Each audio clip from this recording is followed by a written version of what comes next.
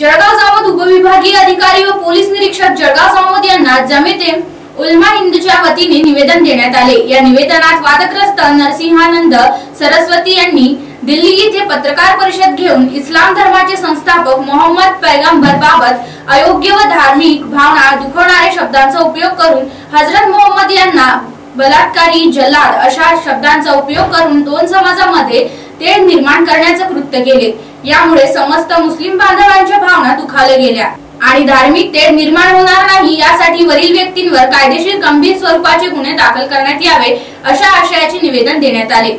या निवेदनावर मौलाना खलील सलीक अहमद लईक देशमुख वसीम पटेल सय्यद बोद्दीन सह इतर समाज बांधवांच्या सह्या आहेत. हे बड़ा खूबसूरत और बड़ा सुंदर देश है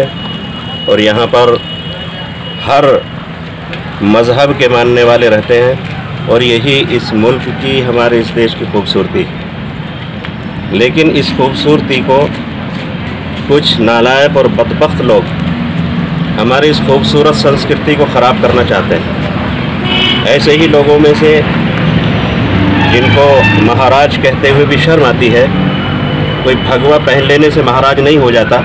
बल्कि उसके संस्कार भी महाराज जैसे होना चाहिए किसी भी धर्म के बारे में या किसी भी धर्म के, धर्म गुरु के बारे में अपशब्द कहना, ये इंसानियत नहीं है, बल्कि जानवर पना है, हैवानियत है। जो भी कुछ ये हुआ है, हम इसकी पुरजोर निंदा करते हैं, निषेध करते हैं, और गवर्नमेंट से, सरकार से इसकी गुजारिश करते हैं कि ऐसे लोगों को सख्त से सख्त सज़ा दी जाए,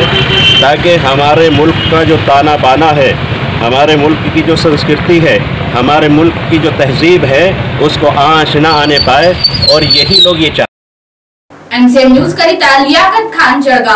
हैं